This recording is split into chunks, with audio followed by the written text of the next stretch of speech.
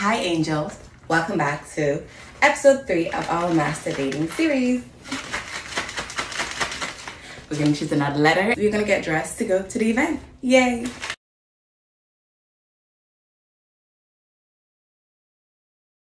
I. What does I have in store for us? I has ice cream, intimacy building with myself, of course, like journaling and stuff like that, and an inside activity. Hmm. It is a little hot, so let's go get some ice cream.